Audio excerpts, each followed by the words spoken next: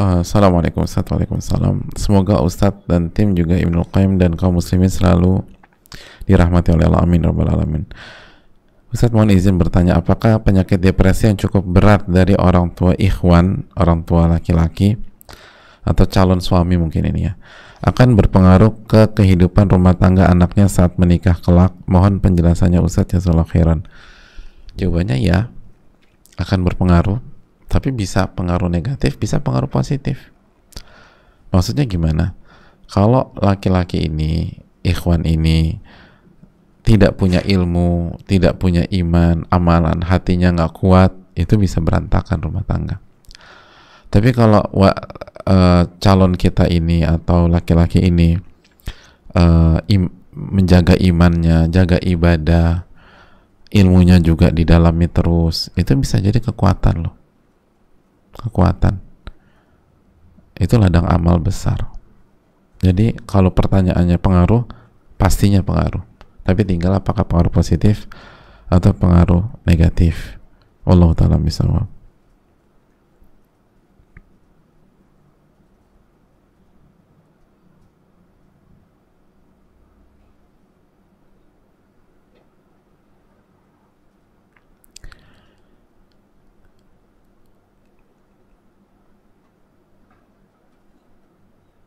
misalnya Assalamualaikum warahmatullahi wabarakatuh. Ustaz Waalaikumsalam warahmatullahi wabarakatuh. Atas ilmu yang telah disampaikan. Assalamualaikum ya Ustaz. Wa Semoga Allah melimpahkan keberkahan dan rahmat da, kepada Ustadz beserta keluarga dan juga tim. Amin ya rabbal alamin. Dan semoga Allah merahmati Imam Ibnu Qayyim. Amin ya rabbal alamin.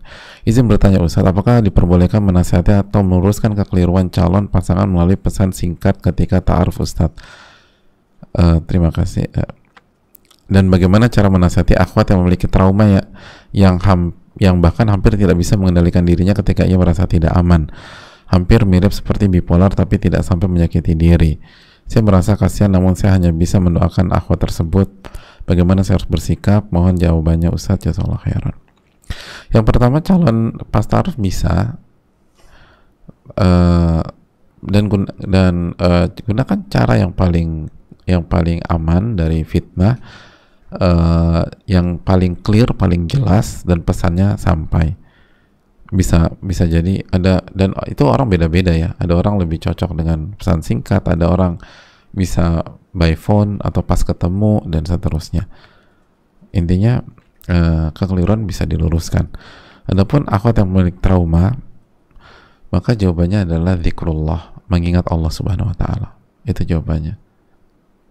Zikrullah dan sampaikan kuncinya adalah mengingat Allah. Karena trauma itu kan mengingat makhluk hadirin.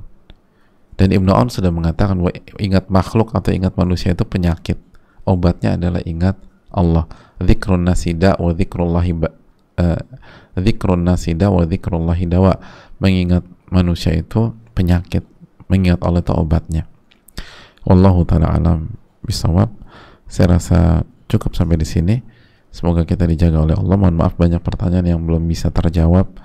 Semoga Allah Subhanahu wa taala memberikan uh, taufiknya bagi kita semua dan keberkahannya uh, bagi yang bertanya dan uh, baik yang terjawab maupun yang belum terjawab ya. Semoga ada Allah punya banyak cara kok menjawab pertanyaan kita. Asal kita jujur dan coba lagi.